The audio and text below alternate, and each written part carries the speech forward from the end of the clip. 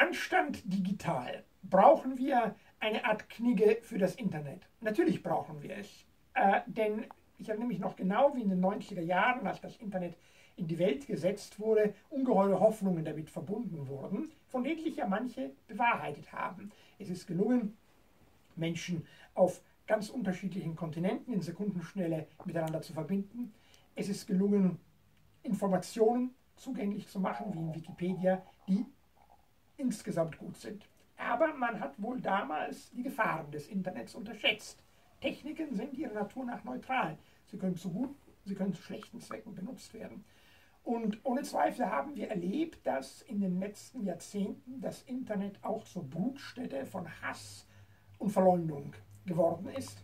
Besonders dadurch, dass im Internet anonym Gerüchte verbreitet werden können, die nicht nur falsch sind, sondern nachhaltige Schäden in einer Gesellschaft hervorrufen. Vergil beschreibt im vierten Buch der Aeneis die Pharma als ein Monster mit vielen Augen und Flügeln und nennt es der Übelgrößtes.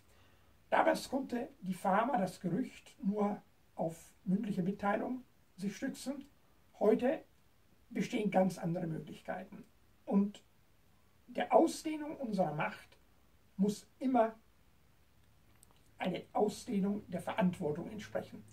Wir müssen den Menschen beibringen, dass die Mitteilungen nur dann zulässig sind, wenn sie nicht gegen Grundrechte anderer verstoßen. Die Meinungsfreiheit hat ja das eine Schranke nach unserem Grundgesetz, etwa an der Ehre des Mitmenschen.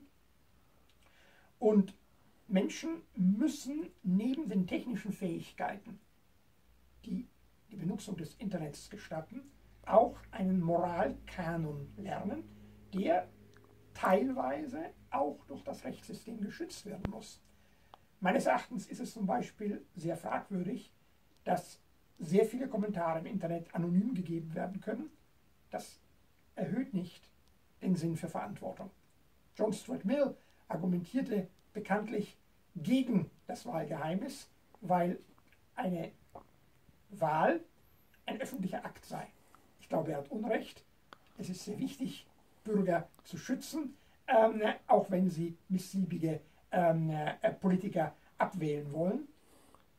Aber im Falle der Mitteilung von Ideen, besonders wenn sie gegen andere Menschen sich richten, ist es wichtig, dass die Hemmschwelle wieder erhöht wird.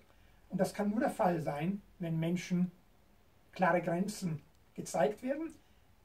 Und das ist nur möglich, wenn man weiß, wer hinter bestimmten Aussagen steht. Ja, wir brauchen eine moralische und rechtliche Regelung, um dafür zu sorgen, dass die berechtigten Hoffnungen, die man mit dem Internet verknüpft hat, nicht in ihr Gegenteil umschlagen.